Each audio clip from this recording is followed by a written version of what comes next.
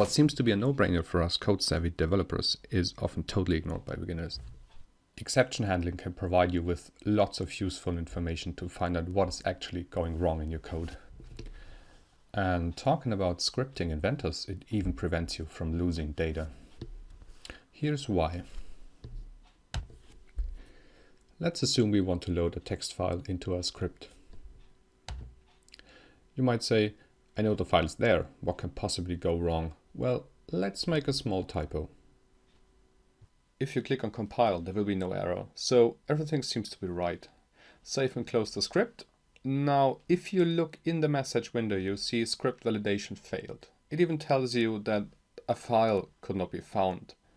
And well, you say like, no, that, that was easy. So yet again, why should I care about exception handling again? Ventuz seems to be doing it for me.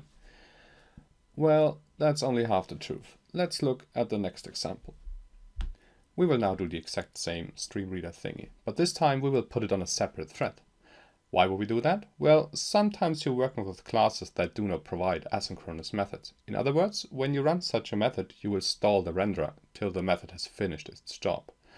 Well, the downside?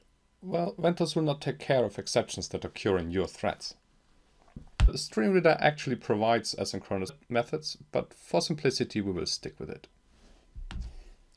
Here's the method that contains our open file process, including the intentional typo. And this is how a separate thread is launched. It's uh, inside this method, initiate madness, so I can start it from outside the script. Save and exit. Here we are now. Are you ready? Let's go. Fatal error. Unhandled exception. It even tells you what was wrong. File not found. Okay, let's click on cancel. Oops, Ventuz just crashed. Completely. Well, if you didn't save the moment before you started Initiate Madness, you've lost your data. Here's how to do it the correct way. We will use a try and catch block to handle exceptions. I know there are hundreds of ways how to do that, that's the most common. Everything inside the try block is executed normally, until an exception occurs. In that case, the catch block takes over. For the lazy ones, doing just this is enough. But now that we came that far, we can also put in some more effort. If you haven't seen this before, this is how you write to the message window inside Ventuz. You can write to info, warnings, error, and so on. This sets the module part. I use it to categorize errors. And this sets the description part.